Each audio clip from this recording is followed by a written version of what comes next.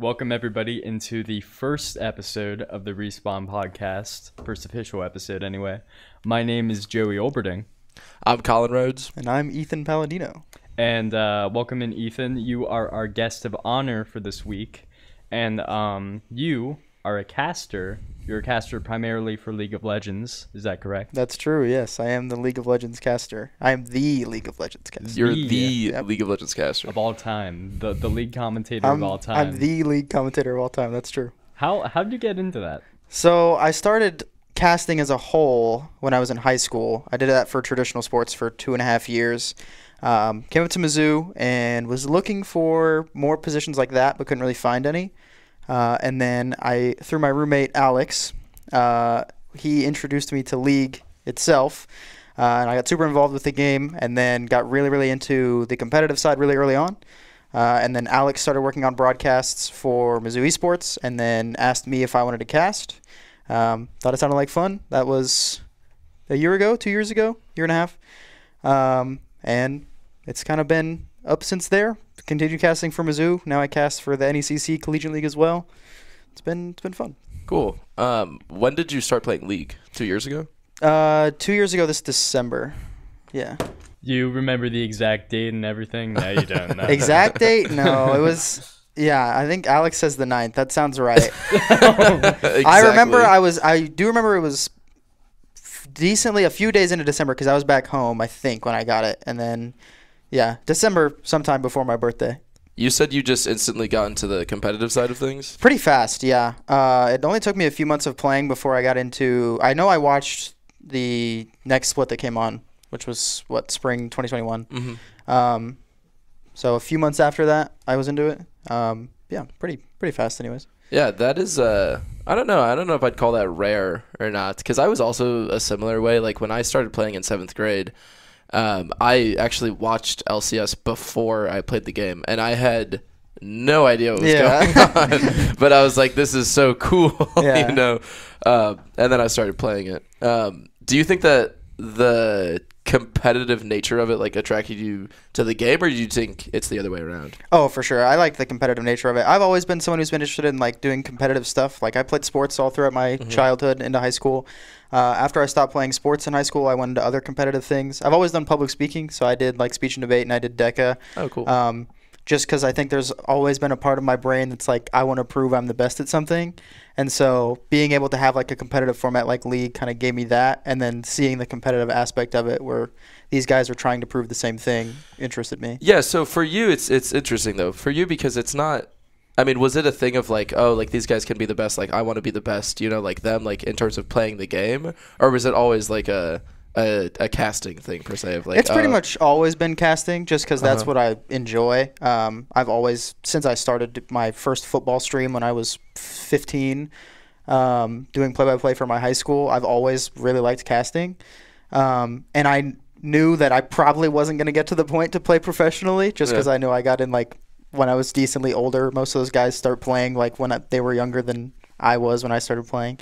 Um, but I knew that because I was watching so much of it and retaining so much information, it was pretty much all I was watching for like an entire year almost, that I wanted to be involved some way. And I mm-hmm. was already, I felt like good at being able to cast. So it was about like learning more about the basics of the game and how professional casters do it so that I could become involved in the same way.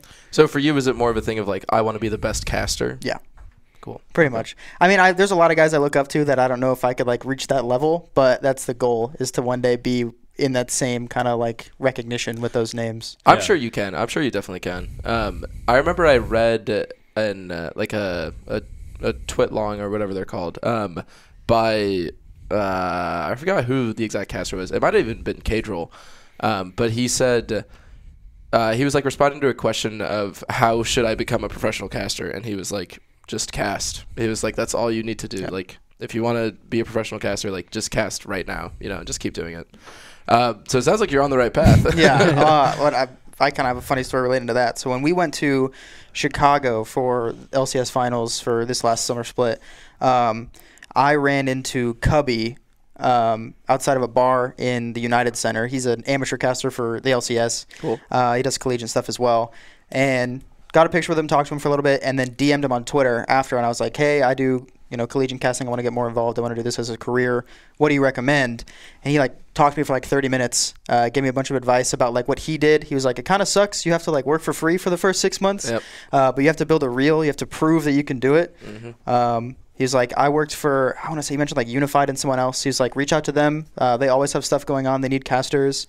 Um, just build up and prove to other people that you can do it, and then that'll get you in the door to kind of making more progress. Yeah, as somebody who's trying to go into casting myself, you know, I really do think that casting is the easiest way to get good at casting because you know you can Yeah. study as much tape as you like. You can uh, take in as much information about a sport or a game or whatnot but the trick to casting isn't naming off a bunch of terminologies and you know what have you. It's about putting it all together and creating a coherent narrative.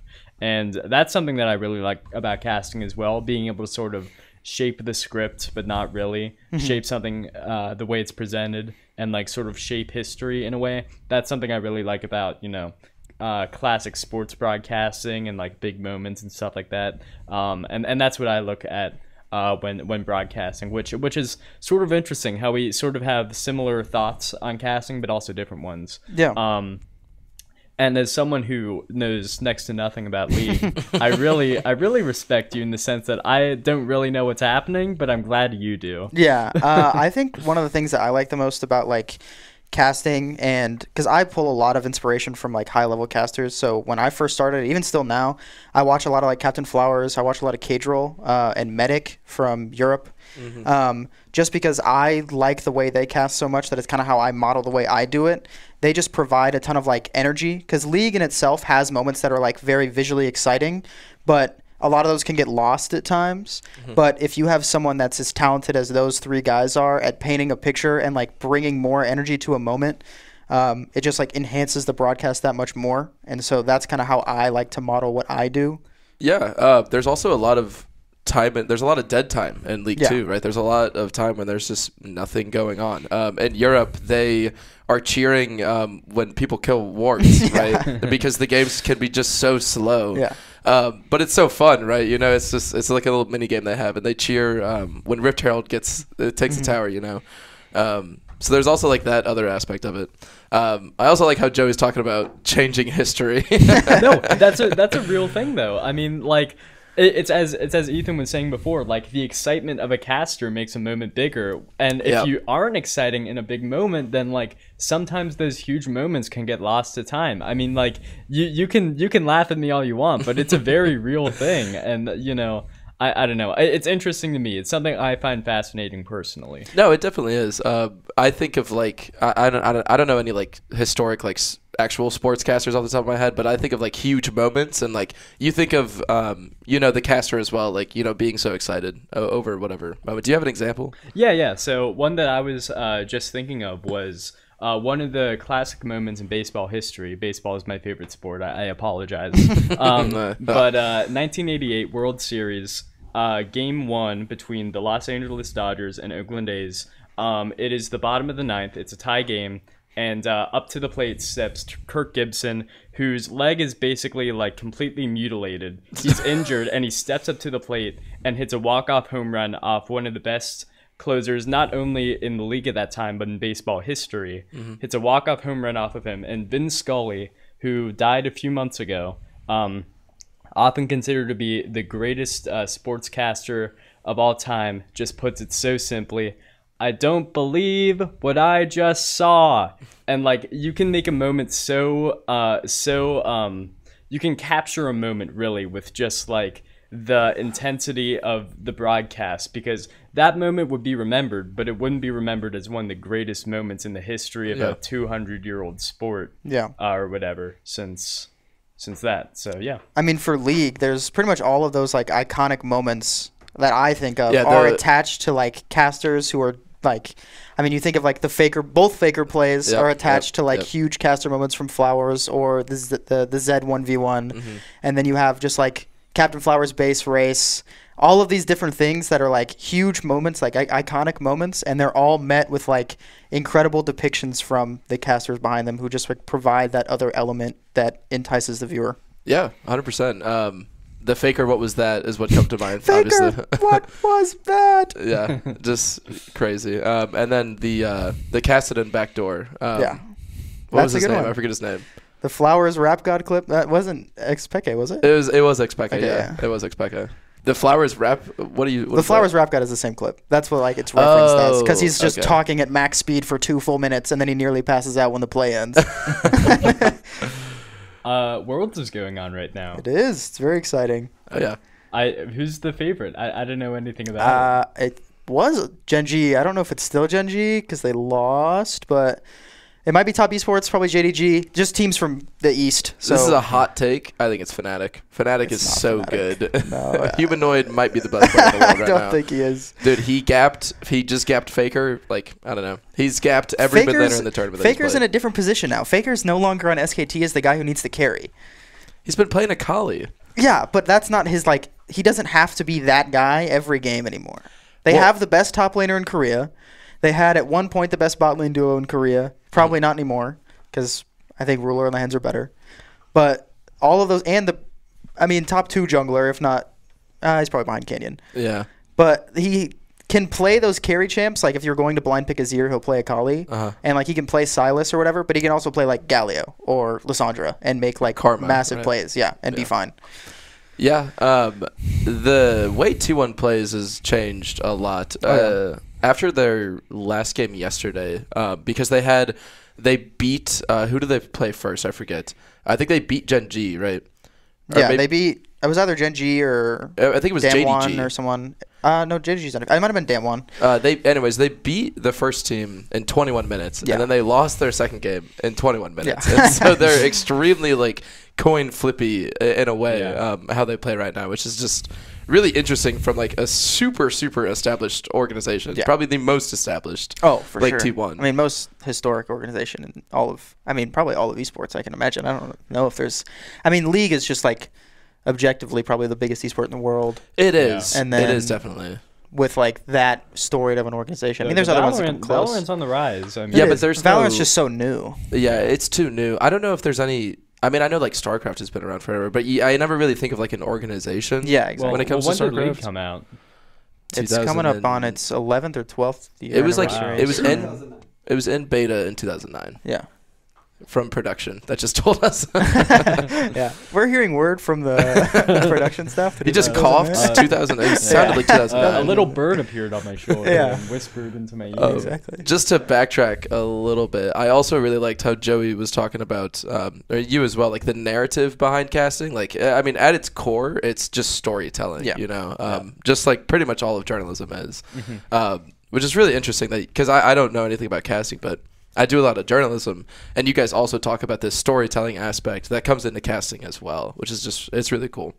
I mean, it's one of the most like intriguing parts I think for me when I listen to casters for League is all of the best ones have these like one-liners or things they're able to just like rip off off the top of their head Yeah. that provide like so much more than they need to. Like it's not something that's required. You're not going to see everyone at every level like come up with these creative things to say in these moments, but the people who do it the best are the ones doing that consistently. Yeah, that's the thing about casting that's most insane to me that people can just like off the top of the dome just like say stuff like Yeah. that. I try to. It's very hard. I, yeah, I, I agree. I try to too. It's like it's it's it's tough because you're on the spot. You're trying to call a moment, but you're also trying to be like entertaining Mm-hmm. while also being like informative. Uh, that's why play by play is so tough. And like you know, I have a lot of respect to anybody, no matter how bad they do, for even like trying. You know, it's it's not.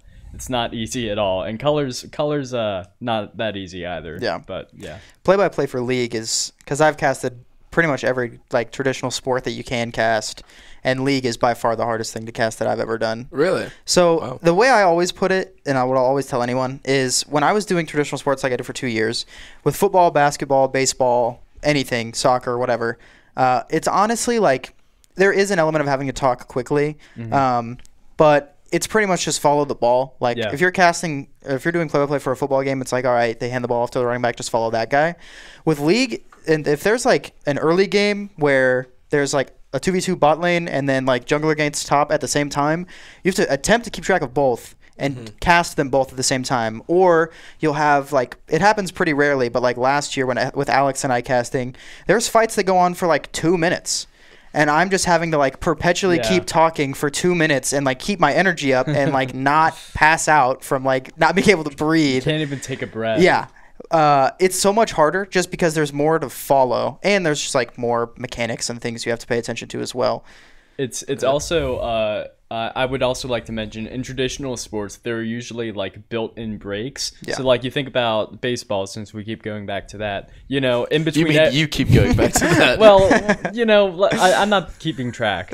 Um, and uh, you know, between each pitch, there's like 20, 25 seconds of just like dead Yeah. air, or even in like basketball or hockey, when the when the ball's not over the half court line or the puck's not over the half court line, it's sort of a natural place for color to come in, so play by play can take a break. Um, and part of that is maybe because like casting for those games and sports have been has been sort of like mastered, but also at the same time, I feel like league's been around a while, and I just think it really is that complicated. There's just so many moving parts because you know it's it's such a big battlefield in the sense. I mean, like if you imagine league in real life, that would be big. Um, It would be. but uh, yeah, so I don't really know what you mean by that. There's a- but that's yeah, okay. There's a drag, a space dragon, Colin. It'd He be would big. be huge. Oh my gosh! Uh, I like how you bring up mastered as well because the other thing about league and I guess esports in general is it's it's rapidly changing, right? So like there like new stuff comes into every season, and like the casters have to master like this new aspect of the game, just as the players do. Uh, and so it's never really the same. You know, it's never like mastered. I guess you could say. Where traditional sports is like football hasn't changed in however many years Yeah. long. You know, there might be like a tweak change in the rules. But the way the game played is it hasn't really been changed in a while. yeah. It's interesting that you bring that up because I, I honestly haven't really thought about that. But like even the game I was watching yesterday, um, probably the best game of worlds from yesterday was the game The last the game? last game. Yeah, that was with a really good JDG game. and Dam won, I think. But uh, JDG AD carry goes in solo with Kaisa ult, nearly kills himself, flashes away, and only lives because there's a Hexgate behind him. Mm. And that's brand new. That's never been in the game for the last 10 years. That was just added Yep. coming into the season. And it is the only reason they didn't lose the game. Mm-hmm. And so to keep track of those things and have to like constantly, like you said, like with traditional sports, there's tweak changes in rules, but you're not going to see anything major. Mm-hmm. There is potentially entirely meta shifting changes every two weeks in League of Legends. Yep.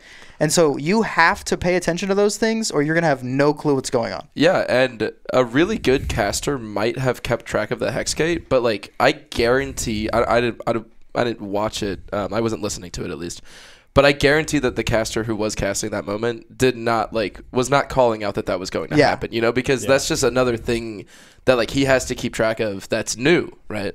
and it also speaks to the players, you know, at Worlds for being able to like handle a change so fast. I mean, you have to train so hard just to understand how something like that can change the entire complexion of a game, and you know, uh, I that's also impressive, and it makes it makes League once again very complicated since it's always changing and it's very fluid as far as uh, competitive esports or sports in general go. Yeah. 160 champs. Is there a traditional sport that has no pauses? Like, is is rugby even one, or is there are there out of bounds in rugby? Uh, I mean, 'Cause I know, like, there's s- penalties in hockey. I guess. Yeah. yeah, but, but there's uh, a soccer goes out. in Soccer soccer. goes out of bounds though. Like that's Yeah, even like sure. a break for the casters. You know what I mean? Yeah, I guess that's true. And there's also there's a penalties. halftime. Um, that's a good question. I can't really think of anything off the top of my head. I Maybe mean, like water polo. I, th- I think every. I, I really don't know. I think every. Horse racing. I think every. Honestly, that's a great that's a great example. But be. horse racing is like what the races are like a minute Yeah. long, Yeah. maybe if even. I think every sport, if it didn't already, uh, during the rise of like commercials and television broadcasts, I think there became more built-in breaks. So you know, Yeah. there could be commercials. Like I, I'm sure that Yeah. say, I'm pretty sure baseball didn't used to have a seventh inning, stretch or whatever, and I know football definitely didn't used to have a two-minute warning. Mm-hmm. Um, but that got put in for TV time. So That's actually really funny you mentioned that because they added those breaks just for advertising. Whereas in League, I don't know if it's in any other esports, but we just threw the advertising into the Yeah. game. Yeah. like imagine having the Red Bull home run. You know what I mean? Uh, The- but the in Red League, you know, we, we don't have any breaks, so they had to throw the advertising because they need the advertising. They just threw it Yeah. into the game. So like stuff that happens in the game is sponsored by companies, I which is just so funny. yeah, I think that is really really funny. It's it's a good bit. Um, yeah, but but it really speaks to how like. I, it's it's impressive how they got around the boundary then. And Yeah. it's, you know, League is still able to advertise and in a very funny way. The House of the Dragon Soul. That's a good one. House of the Dragon Soul. Yes, that's that's a good one. Soul's or the, they'll put just ads on banners in the map. So randomly, like you subconsciously just see like a BMW ad. well, they do that in uh, in soccer and hockey. Oh as yeah, I guess there is stuff like on the Um, court. Yeah, but it's not like I guess nearly as prominent. Or Yeah. it's definitely not as nearly as prominent. You know, that would be kind of cool though if they had like the State Farm like power play for Yeah. hockey. Like that, that would be kind of cool. I guess it wouldn't be cool, but it would. Be, you know? Yeah, how, cool- how cool is advertising really? Yeah, NHL needs to add me to their marketing team. That's Yeah. all I gotta. Make them so much money. that, it would. They would. Make, imagine being the first company to own the power play. Well, It's so much money. in, in the MLS, they have a team called the New York Red Bulls, and they're Oh. sponsored by Red Bull. That's so true. there Really? you go. Yeah, and I know it's a huge thing in um in Korea. Korean baseball, like half the teams are just companies. So like you have the Samsung whatevers or like the LG whatever, and it's sort of interesting because you could never imagine like you know uh, an NBA team being like the Toyota uh, cars Yeah. or whatever. I mean, that's happening in esports as well. They have. Oh, it's yeah. yeah, Team they have- Liquid Honda. yeah. Oh, team yeah. Team Solo Mid FTX. Yeah. Right. FTX, TSM, FTX. Uh, that is really interesting. I wonder. I mean, I don't know. A part of me wondered if we will just eventually all the teams will just be companies, but like the organizations also are sponsoring themselves in a way. You Yeah. know, like they are their own. Yeah, like um, like I'm, I'm sure I'm sure FaZe Clan like you know they don't need to be ab- to be like sponsored by whomever. I mean everybody would like to be sponsored, but I don't think they have to become the the Red Bull FaZe Clan or Yeah. whatever. Mm. I guess TSM. I mean, TSM is a huge organization. I guess they had to be TSM FTX in order to gotta be get in on the sponsored by crypto FTX. Hey. Crypto's huge. You gotta jump in. I don't see any Yeah, potential problems with I that. don't know. I, I just don't know how great of an idea it is to change your entire organization name. I don't know. Well, especially like I mean, for organizations like TSM and like Team Liquid, like you've been TSM for so long. yeah. Yeah. And then Team Liquid's like, "Hey guys, we're actually Team Liquid Honda now." Yeah, it's Okay. I yeah, imagine changing the New York Yankees to the New York Yankees FTX Yeah. or whatever. Like that that would enrage so many people. Oh yeah, New really York would. Yankees It Burger would. King. but but the thing is people get like people get like um attached to their sponsorships like there was a huge like controversy like a year ago because the uh stadium or the arena the lakers play in was the staples center and they changed it to the crypto center Oh. Crypto.com. crypto.com Crypto.com. and everybody was so pissed It's a horrible name. it is a horrible name, but it's funny how they were like, "No, we want Staples back. That's the company we support." Yeah. Uh, though obviously it's crypto, so good, good on them. Yeah. But still, That's funny. I just think the fact that they like made the conscious decision to keep .com. yeah, You could have yeah. just called it like the Crypto Center, Mhm. but you were like, "It's got to be .com." yeah, that Yeah. probably enraged fans more. Yeah, I mean, anything. even in the NBA though, as of a couple of years ago, they like started including logos on jerseys. Like, That's true. I want to say it might be the Lakers that have FTX on their logo on their jersey. have Yeah, they it's yeah. ever somebody. had logos think so, before? right? Well, like advertisements. Oh, No, Yeah. they, they uh, the NBA is all about crypto. Like everybody loves crypto in the NBA. Yeah. Yeah, they they the have Lakers especially. yeah they, they they'll have like crypto like logos on their patches on their jerseys. Like teams will be sponsored by crypto. Uh, I don't know, manufacturers. is that just the NBA? Uh, that has like actual ads on Yeah. their yeah Yeah, I think so. of the four major re- like is it major just the regional NBA that's sports. into crypto? I'm sure. I think there's other like. I mean, there was crypto sponsors of the last Super Bowl, wasn't there? Yeah, yeah. There was the- that QR were. code ad. Yep, yep. Yeah, yep. Yeah, but Yeah. even still, that's that's a little different because it's one thing to see an ad for cryptocurrency. It's another thing to see an ad for cryptocurrency on LeBron James's jersey. Yeah, you know, that's saying? Yeah, it's another thing for your favorite team TSM to rename to cryptocurrency TSM. I remember I saw that. I saw like the TSM FTX, and I was like, "What the hell is that?" And I was like, "Oh, this is stupid." yeah, it's funny because in well, for league specifically, they cannot call themselves TSM FTX. They're still just TSM because FTX has their own sponsorship through league through the LCS. So TSM is just TSM in the LCS because there's the FTX Gold Advantage because the FTX is like an overall Oh. sponsor. so they can't also be just a TSM sponsor. So in every other esport, it's TSM FTX, but in the LCS, it's just TSM. That's Huh. that's really interesting. I did not. I did not realize that. It would be an catch that. unfair advantage if it's Yeah. sponsored and also sponsored the whole event. Yeah. I guess yeah, that would be unfair. No, no other region has a cryptocurrency sponsoring showing you which team is winning in gold. Just saying, North American supremacy, FTX gold advantage. Let's we do have the most money. that's, that's well. it doesn't really translate to skill, no, unfortunately. unfortunately not. I think we do have the most money. Uh, I don't know. There's just so many more. There's so much more people though. I- In those and like in the East, there's so much more interest. Yeah, but we are so like business oriented. That's true. I guess there is more sponsors. I There will is say- definitely more sponsors. Like Honda, uh, I mean, all of pretty much all of the sponsors in LCS, I feel like are more. Yeah, all the major money. orgs, anyways. Yeah. It's also like obviously esports are growing like rapidly over time. I mean, who knows how long until like it really it really uh, takes off, and it already is. But you know, even still, like I've heard more about Worlds this year than I have about the entirety of the MLB season, like from people just on the street. That makes sense. There Yep. you go. Yeah, um, I saw some statistic. I don't know if it's true or not, but it said that LCS was the third most money making sports organization in the U.S., um, which is just really insane. Well, it has a whole niche captured. I mean, like you know, no, nothing else. I mean, maybe maybe football, but that's like that's the only thing. Like anybody who you know spends their weekends on Twitch or whatever are probably going to be tuned in in some way and are interested in esports. They're going to be tuned into Worlds, like how you know suburban family is going to turn on.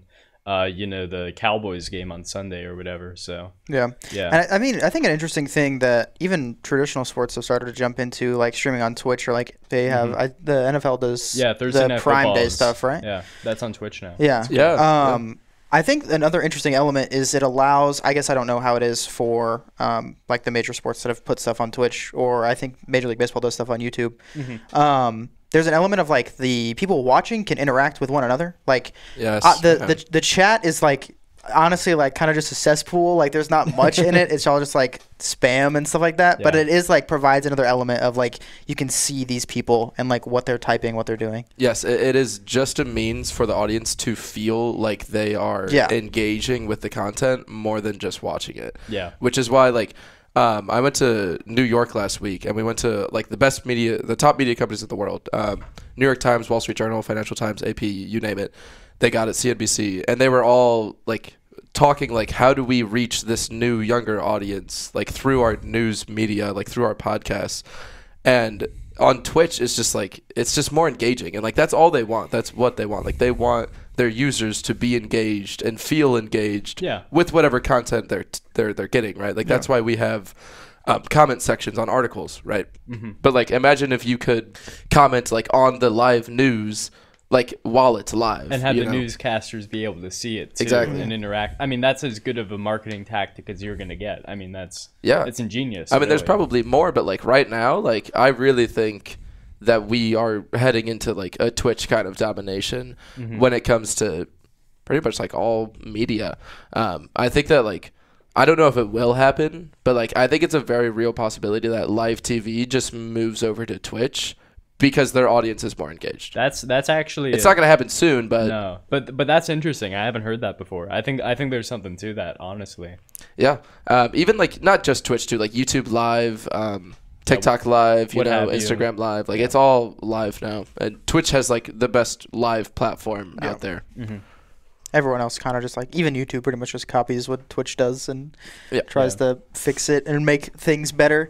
Um, I wouldn't be like too surprised. I definitely think as the years go by, there's definitely less and less interest in live television, and I think it's just like kind of natural nature for companies like that that are in a dying genre to move on to something else if they want to still be around. Like there's still going to be a market for like traditional news.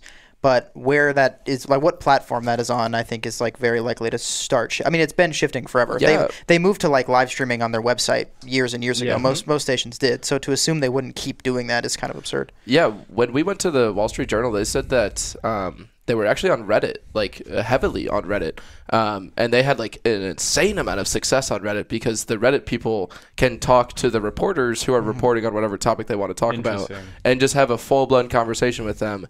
And like it was a reporter's job for like the entire day to just run a Reddit thread and just respond to every single person.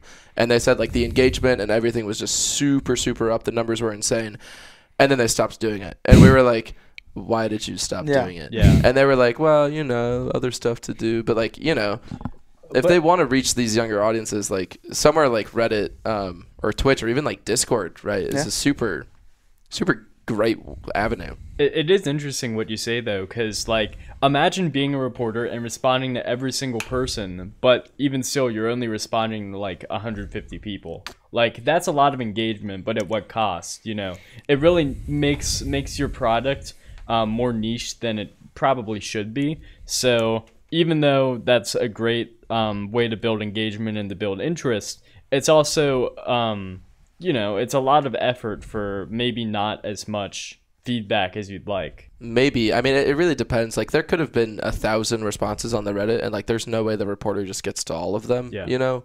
Um, but I think 150 is even like fine. I also don't think I don't really know too much how Reddit works, but I don't. Mm-hmm. Re- I think it's more so like people watching conversations happen mm-hmm. rather than people like everybody's asking a question. That's true. That's true. I might be wrong. I'm not no, sure. I, I think you're right. I mean, I I wouldn't imagine everybody ever is gonna post something in a Reddit thread or whatever.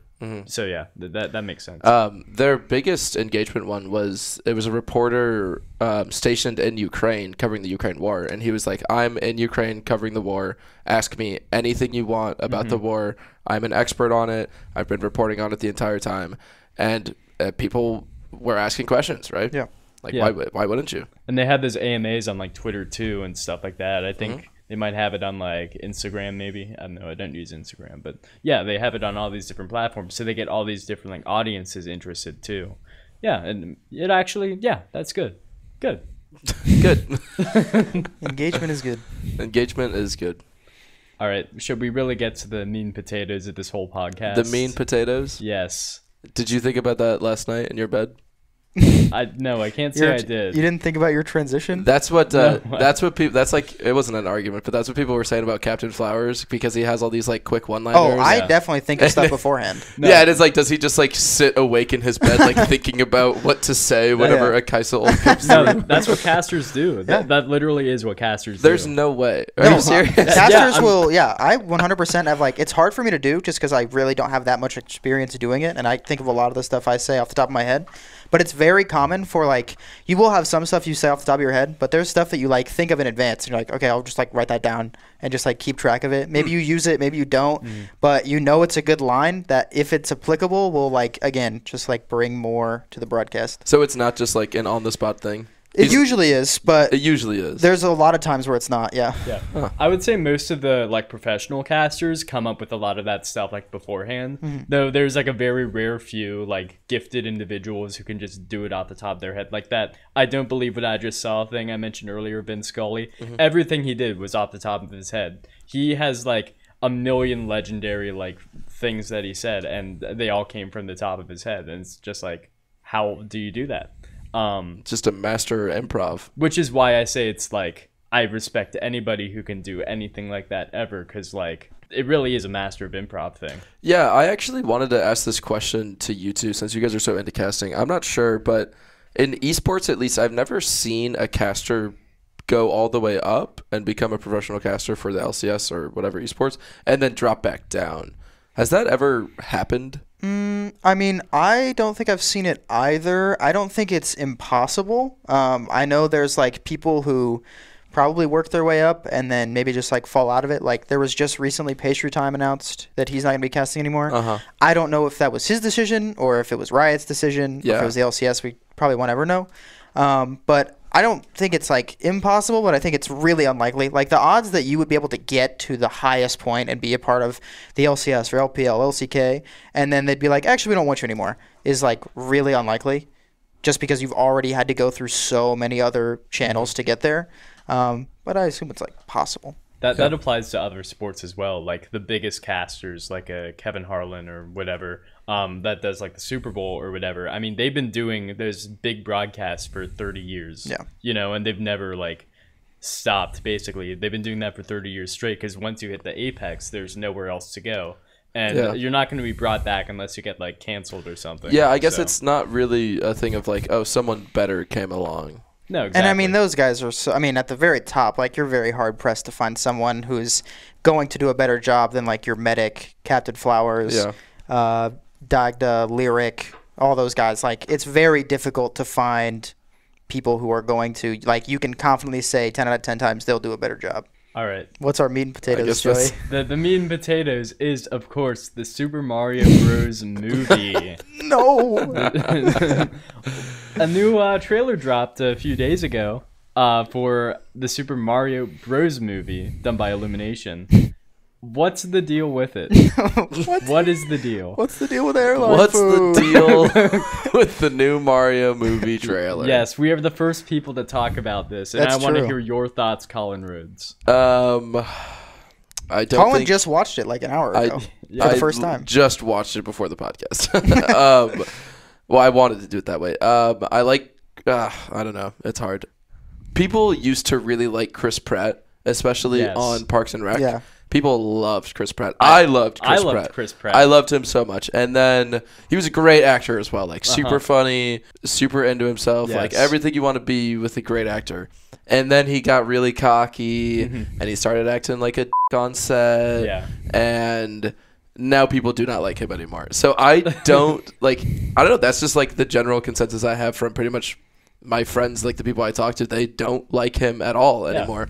And I was like, wait, why don't we like Chris Pratt? But I don't think it was a great idea to have him as Mario. No, I mean, I mean, truly, Chris Pratt fell off. I mean, He he he, was uh, Andy on Parks and Rec. He was great, and then he was Star Lord and uh, Yep. in uh, Marvel, and it was like pretty good. And then he, Jurassic like- World. and then Jurassic World, and it's like, okay, buddy, you know, like slow down there. Yeah, he was doing fantastic. Really, really yeah, good. but but then Jurassic World hit, and then he kept being in more and more Marvel stuff, and it feels like the more Marvel stuff you're in, the less charismatic you get. It's Um, I feel like there was a pipeline Really? there. No, yeah, I do. Like, um, That's actually really interesting. no, th- think about it like Tom Holland. Like Well, I- Tom, Tom Holland when he first like became Spider Man was like the darling of everyone, and then like last year he did Uncharted, and it's like, okay, Tom Holland, what Yeah. are you doing? I mean, it's the same thing with um, Benedict Cumberbatch, right? He did all of these amazingly good movies. Uh, Sherlock Holmes, Mm-hmm. and then he did um, the one about uh, the war. He was um, depicting codes. I forget. yeah, yeah, yeah, yeah. The Imitation Game. Imitation Game, right? And he was fantastic in these movies. And then he's Doctor Strange, and he's just like flatlined at Doctor Strange. yeah. Um, he, I don't know if he's been in anything. Has he been in anything else besides? He was in uh, Power of the Dog, uh, which was like Oscar nominated last year, but that movie was bad and I didn't like it. So there you go. well, Joey's word is law. So uh, moving on. Um, the other thing about Chris Pratt is he had the recent Jurassic World movie that was just a complete flop. Like Yeah. I don't know if you saw it, but it was terrible. I heard it was absolutely awful. I could barely watch the movie. The acting was terrible. Mm-hmm. Not nothing happened in the entire movie. I fell asleep. I was watching it with my friends. I fell asleep an hour into the movie, and I woke up at the end, and I was like, "Oh, what did I miss?" And they were like, "Nothing." yeah. I was like, "Oh my gosh." I mean, Um, give give Super Mario Brothers some credit. There's some there's some okay casting in there. Jack Black as Bowser is pretty good. It's funny, but I think they definitely, especially after hearing Chris Pratt's voice of Mario, you've got to. There's somebody better for sure. There Yeah. has to be almost literally anyone else. I mean, I said it before. I'll say it again. Leonardo DiCaprio. Where is he? yeah. He's not doing anything right now. Yeah. What? Well, what could he possibly be up to right now? Uh, he's trying to date another 20 year old. That's what, true. That's what's going on. I was gonna make a joke, but I couldn't think of one Well, fast it- enough. I, I did it for you. Thanks. You're welcome. Um, yeah, the the casting's interesting because obviously you have a million celebrities, blah blah blah blah blah. Chris Pratt's obviously the worst one, Jack Black is Bowser. I think it's like okay. At least Jack Black's trying. Uh, Keegan Michael Key is Toad, and like you would never imagine that's the guy from Key and Peele. That one is pretty Toad funny. voice. That's a great one. That's a fantastic and then cast. and then Charlie Day is Luigi, and that's just like perfect cast. That's another perfect cast. Yeah. Yes, that's perfect. I think that the whole, I think that Jack Black will be good if he's allowed to like be Jack Black. Mm-hmm. You know what I mean? If he's allowed to like put some of his own personality into the character, then I think it'll be great. Well- um, at least for people who like Jack Black, you know. Yeah, yeah. Well, that's the thing with celebrity voice acting and why it's like such a hot topic or whatever. Because celebrity voice acting is basically just like doing the voice of the celebrity. Like you think about Jack Black in uh, Kung Fu Panda. I mean, he's not playing a panda; he's playing Jack Black, who's Yep. Mm-hmm. a panda. Um, and that's not to say he does a bad job. He does a great job because he's doing his Jack Black thing. But Yep. like.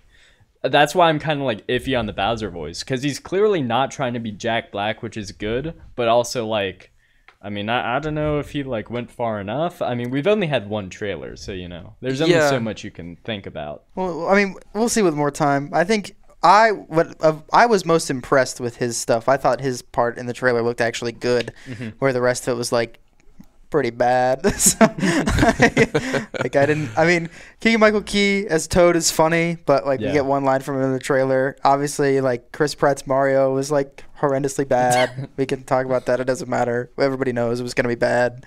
Why doesn't he have an Italian accent? I mean, Why he- couldn't they cast an Italian guy? Yeah, well, that's one thing, but it's another thing. Like he hyped up this voice like it was super good. He was like, he did like, "Hey, it's a me Mario" or whatever. That's my Italian voice, by the way. That's great, Um, Mario. and um, he was like, "No, no, no, that's not the voice. You'll love the voice. It's amazing." And it's it's kind of narcissistic. It's like it's your own voice, dude. It's not it's not that special. It's, It's just a your white guy's voice. voice. My Like, voice is perfect, and he's like, "We are going to the Mushroom Kingdom." I hope. Uh, did he have like go. Italian accent training? Even like I, uh, I assume these are- as much. These but are actors. They're designed to convey emotions of characters that don't exist, and he's just being himself for but they're not voice actors. Here's here's my thought about the Mario movie. So in the trailer, Mario gets uh like blasted out of a warp pipe. He wakes up in the Mushroom Kingdom. That's why mushrooms are everywhere. And he's like, "What is this place?" so here's my thought. What if Mario got sucked into the Mushroom Kingdom and he was just a normal plumber in the in New York and just went into the Mushroom Kingdom? So I'm thinking there is a non-zero chance we get live action Chris Pratt Mario. That's all I'm saying. You think it's like uh oh what's that? It's like a princess movie. It's called like Enchanted or something, where she's like lives in a princess world and then like goes through like a sewer pipe Oh, into like yes. New York City. Yeah. They're like the same thing, but with Chris Yeah, Pratt. uh, yeah, you wanna you wanna see him with the mustache and the overalls? the Yeah, I want to see him plumbing. Yeah, and he's talking Is to just Mario the guy? plumbing. Charlie Day, who is Luigi. Yeah. You know, it's a great time. exactly. It's a great time. I wish Charlie Day would just do all the characters. Honestly, I think he would do a great job. I think so as well. yeah. Even if he's just being Charlie Day for all of them, I think it'd be better than Chris Pratt Mario. I agree. It's also it's also Mario, right? It's the Mario movie. Mm-hmm. Like it's it's the entire character. He's obviously gonna have the most lines. At least I would think he would. um, Well, he's, so I don't know. I think major mistake by whatever company's making that movie. yeah, Illumination, who does not have the best track record. I mean, they made Despicable Me, but they also made like Sing. So you know, I heard mm. Sing Two was good. I, didn't thought see it. Really? Sing was good. I heard the Sing Two was. I watched Sing One. It was fine. people at least Really? liked it. You know, it, it it, the popular. movie did well. So that's I. I have not heard good things about it. I mean, I'm not a real I'm not a real Illumination head, so I can't really speak to that. I mean, Despicable but, uh, Me blew up. Like it made them a bajillion dollars. I, I heard the new Minions movie was okay, and obviously they had like the Gentle Minions meme or whatever. But I just think that's one of those memes that's like manufactured by the company. Yeah. You know. And they had a, they made a Yeat song for it, so they really tapped into the kids. Yeah. They they yeah. I don't think Colin knows who Yeat is, but Nope. it's okay. it's okay. that's okay. I'll play you Yeat's song after this. Okay. Uh, and uh, yeah, so Mario, uh, and and it's interesting because every video game mu- movie that's like ever existed has been terrible. So it's like I didn't expect this movie is gonna be good either, but I can't even I'm think of other watch it. ones off the top of my. I mean, Mortal Kombat. I mean the Sonic movies are the big ones that have come out Yeah, recently. the Sonic ones. and they were. I think they were okay. Yeah, that's I what didn't I see them, but like they did okay. when I say that. Yeah. Um, but not like good by any means. Like they didn't do great. You know, there Yeah. hasn't ever been a really good or fantastic video game movie. To me, it just looks like one of those movies where you have the normal guy who's just a guy and the charismatic cartoon character, and they meet up, and it's like Alvin and the Chipmunks or or uh, or uh, Mr. Popper's Penguins or one of those, but like with Sonic instead. Uh, we were thinking yesterday, Joey, about all of the video game movies in general, Uh-huh. and like if there has been a good one. And you named off all of them, and none of them were good. I all can- of them were I bad. can hardly even think of I like Mortal Kombat, Sonic. I don't know what else. Here, like, we, we, we made a list yesterday. There was me- a- pull it There's up. the Uncharted one. They made Okay, they made yeah. Tomb Raider movies, and oh, those were those bad. were bad. Yeah, Um, I heard. I didn't see the Uncharted movie. I heard There it was, was- horrible. I, I saw the one that came out 20 like 18 or whatever. It was bad. Um, it's bad. go figure. uh, and I didn't see the new Mortal Kombat, but I also heard it was just okay. So Alex and I saw Mortal Kombat in 2020, and we both thought it was like at least when we left, we were immediately like, "This is a great movie." But it was Uh-huh. also both of our first times in the movie theater in like two or three years, Oh, yeah. and it was like empty. And it starts off like really slow, and you're like, "Huh, this is like this is a Mortal Kombat movie." You think something happened, and then some guy gets like his head sliced off, and you're like, "This is the greatest thing I've ever seen." yeah, you pop off. yeah. Uh, but I I think thinking back, like probably wasn't that good, but I thought it was pretty good when I watched it. I think for anything, it's just fan service. It's just Yeah. cliche, like fighting, big sword fight. You know, That's true. just stuff that mm-hmm. the fans want to see, especially like Mortal Kombat fans of all people. So it's, I think it. One of them went on Netflix. I think I'm not entirely sure, but I watched one of them. I don't know how, and it was exactly how I thought of Mortal Kombat. Yeah. well, with with any of those big like action movies that come out nowadays, like like a Mortal Kombat or something, it's all like trying to emulate Marvel. They're trying to emulate the success of Marvel. So they're probably gonna have awesome action fights, but they're also gonna have like goofy, like he's right behind me, isn't he? Yeah. you know, like Yeah. jokes like that. Um, which I mean, that annoys me personally. When is Scorpion from Mortal Kombat gonna say "bruh"? Okay, these are the these are the movies we listed off yesterday: Street Fighter, Warcraft, Sonic movies, Final Fantasy, Tomb Raider movies, I thought the Final Fantasy movies were good. uh, I heard mixed things. Okay. and then there was the Resident Evil movies. Many. Uh, Joey said many. Yes. How many? Uh, I think There's there's, like six. Yeah. There's Oh, like six. jeez. And Uh, there, there. The, the thing is, you would expect the Resident Evil movies to be like spooky, like Mm-hmm. ah, it's horror, but it's really more just like killing zombies with a gun, and it's super awesome. It's like killing zombies with a gun, pew pew pew. Um, Yeah, I'd like rather just play the game. Yeah, it's it's whatever. It's very Hollywoodized, uh, like video game content. So why, Joey? Why are they all terrible? Why are they all terrible? Because they try to emulate the feeling of playing a video game by just watching a movie. Movies are a visual medium, and video games are partially a video game or a, vid- a visual medium, but they're also uh, I am playing a video game. I am doing the game physically. So that's why I think movies, for the most part, try to not you know be a carbon copy of a game. Like the Sonic movies are definitely not like any Sonic games they made put uh, they made uh, the Pokemon Detective Pikachu movie, and that was about a detective Pikachu, and that that's not a mainline Pokemon game or anything. So, you know, I, I think I think that's that's why that's the direction they take. But also, I think they miss something when they basically try to undo everything that makes games fun and try to put them into, put a, into a movie movie. medium with like tropes and cliches and Ryan Reynolds and what have It's you. Ryan Reynolds. Okay, let me flip the script on you then, Joey. oh my god. So we're talking about video game movies. What about movie video games? that's that's that's a thing. Because those have had actually great success. it's true. And so why is it easier? Is it easier, I guess, to transform a movie into a video game? I think it's easier to transform a purely visual medium into a visual medium plus I'm shooting the bad guys. Like they Yeah, made plus the mechanics of it. You like know, they sure, made whatever. a Godfather video game and apparently it was good. They made a Scarface video game and apparently it was good. Yeah, I mean, I think of um, I think of Batman games. Yeah, True. Spider-Man games. Yeah. Yeah. Even uh, they made a Guardians of the Galaxy game that got insanely good reviews, which is very surprising. Very. You you wouldn't think I- that the Guardians of the Galaxy video game would be really good, but I played it. It was very fun. Really? Yeah, Really? You control all of the Guardians. It's a great time. I mean, even think of like all the Lego games are like. True. yeah, yeah, Those are all great games, and they're all based off of like preconceived stories. Yeah, and very true. yeah, the Star Lego Harry Wars. Potter, yeah. Um and it's it's also interesting that like you can have this highly successful video games, and I guess this is just games in general, but you can also have like horrendous flops like E.T., which crashed the video game industry in general. You know?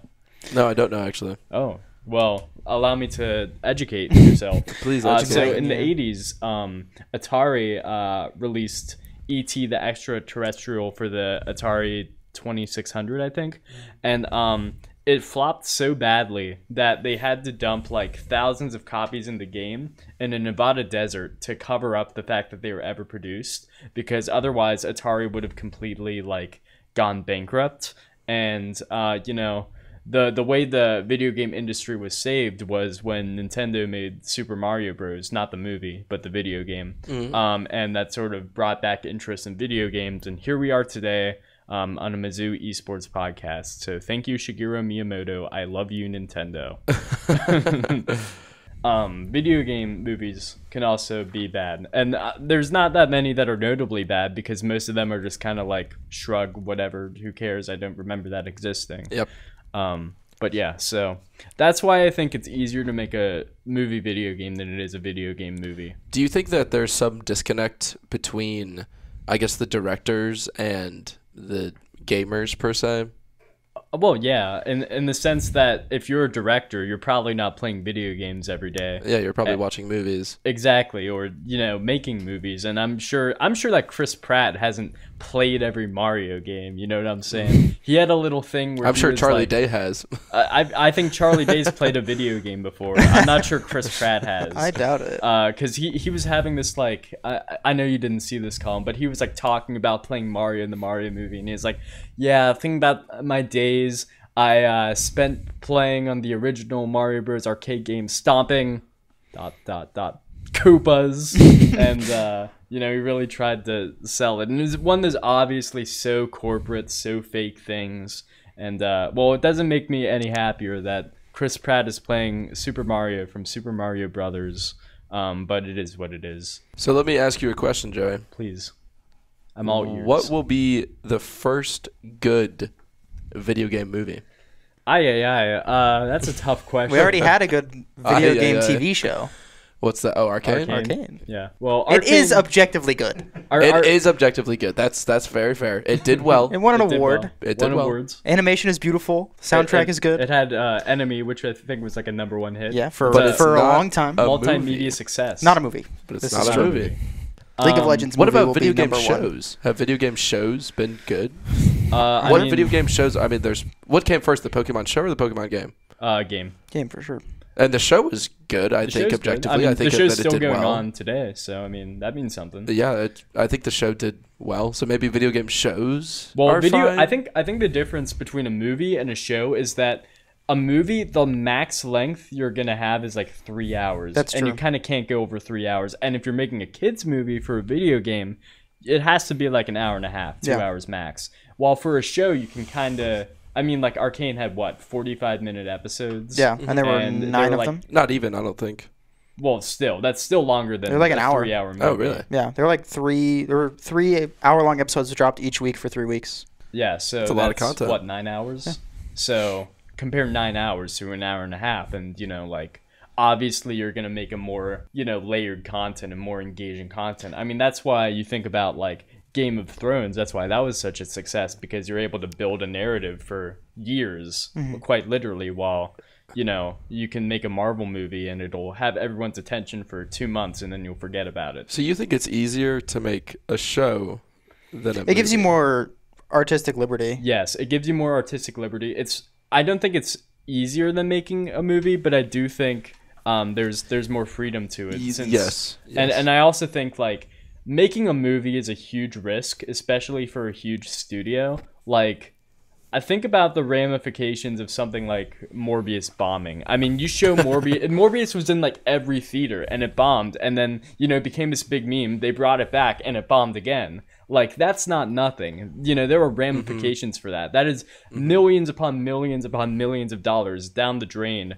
putting in every single movie theater in the country, and like many many in the world. Yeah, Morbius got fired. While for shows, you can just kind of put it on a streaming service and see where it goes. So yeah. That's that's pretty fair actually because I'm I don't correct me if I'm wrong, but I'm pretty sure that the streaming service just buys your show.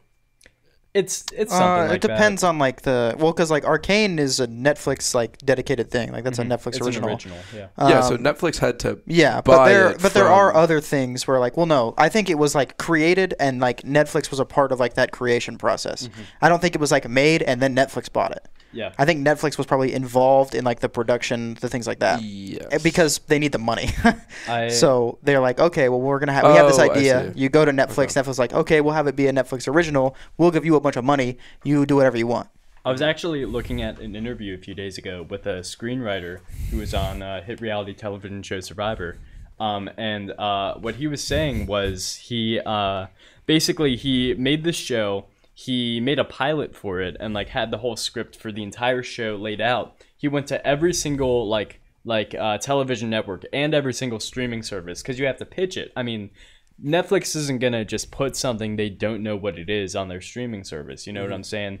And all of them rejected it, every single one, because like they, you know, every single company wants you know something that is going to appeal to everyone or appeal to a large group of people, and also not like make everybody mad at them. So eh, that's that's a whole different thing when it comes to to marketing television shows, and that's maybe why it might be more difficult to make a TV show compared to like if you're working for Marvel because Marvel's such a it's almost too big to fail. You can throw like anything at a wall and millions upon millions of people will see it. Yeah, I think that's kind of the same thing as Netflix. Um, a Netflix original can flop, Mm-hmm. and it's the ramifications are not super, you know, bad. I mean, they, really. they might be bad, but in terms of like the big picture, Netflix as a company, they're not. Yeah. It doesn't really hurt them. Yeah, I they're not starving. No. Though, I mean, they're they're dropping a lot. I mean, you know, they have less and less like movies than ever, and there are so many streaming services now. They got to get on those bundles, man. Yeah, there's so many streaming services now that it's like, you know, Disney Plus, Hulu, HBO Max, Paramount Plus, what have you, Amazon Prime, you know, like it's it's a new form of cable almost. It's a whole new thing. Yeah, Hulu unironically launched Hulu Plus Plus Plus, uh, which I think is pretty funny. I think it's actually a funny marketing technique. Yeah. Um, it's also pretty good to just have three pluses behind your name, and it really is three additional like Yeah. huge bundles added onto your Yeah. deal.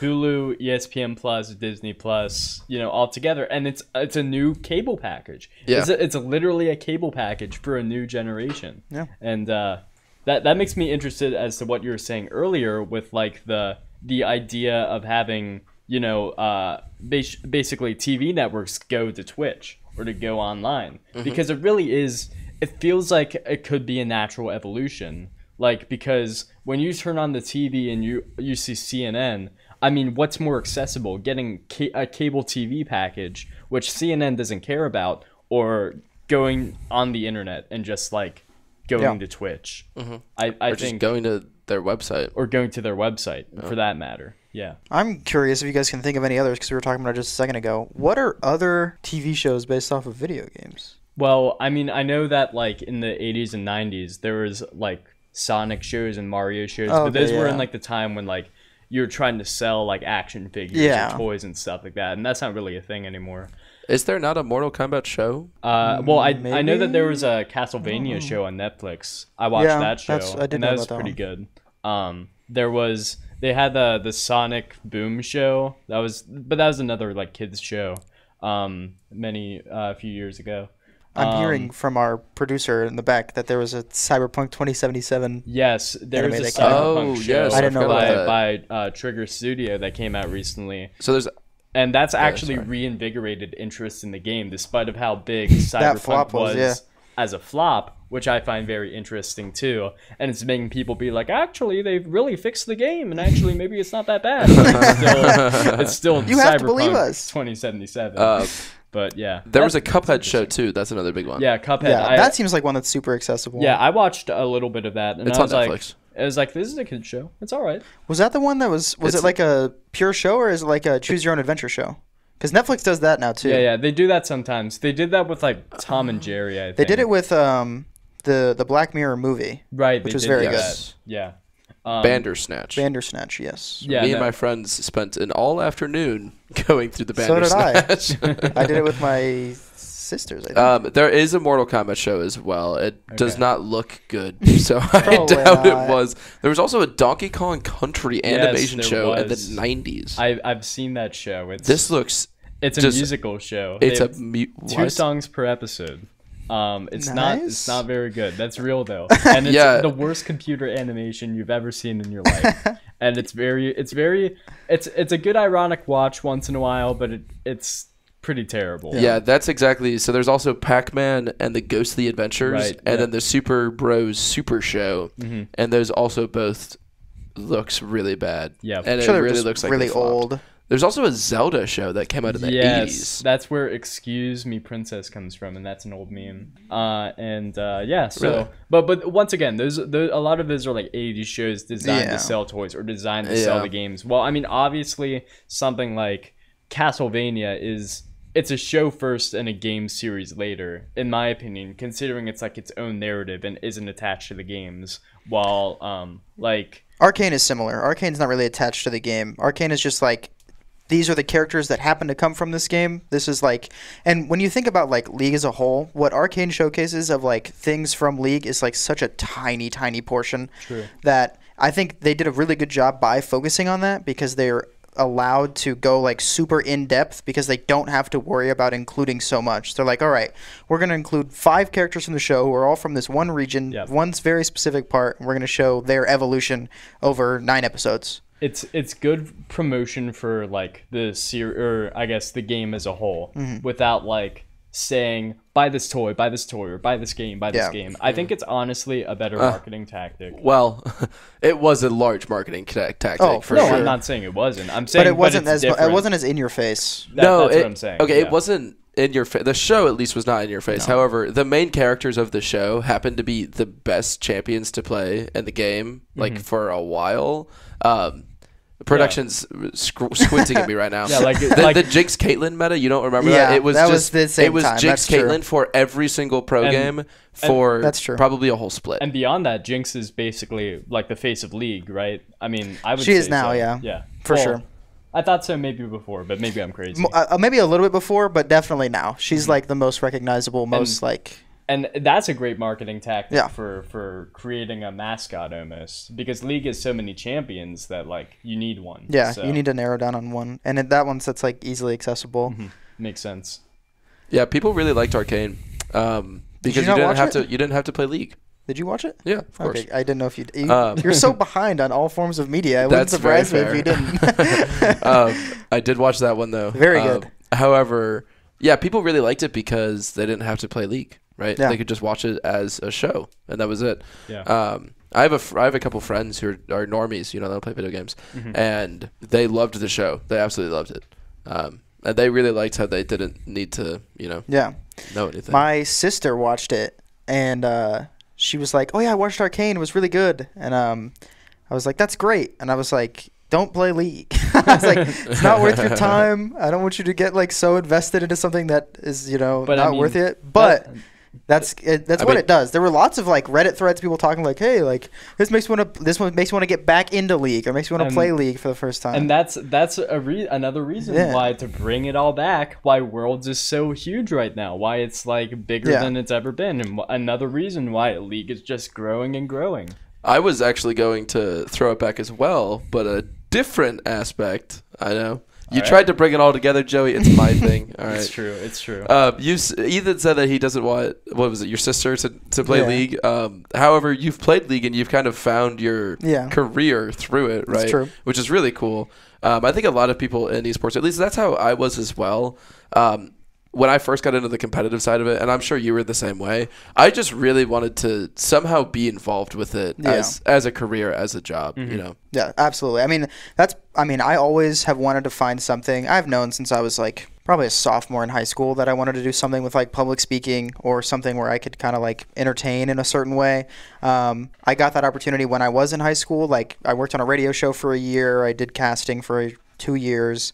Um, and then finding like this through league and then seeing that there was like a viable option to get in and do something like that and still be involved in the competitive scene which i enjoy so much and yep. i find so entertaining but in a way that i know i can be successful at all right well i think that about wraps it up for this episode of the respawn podcast thank you so much ethan for i don't want to stop today. joey thanks for having i me. don't want to stop either but we've hit the hour can we keep mark. talking i have to show I have uh, to production's show, t- telling us no i have to show colin this Yeat song yeah, you do. it's true. You do. You do. True. All right. Thank you so much for joining us. Thank you so much for listening, and uh, we'll catch you later.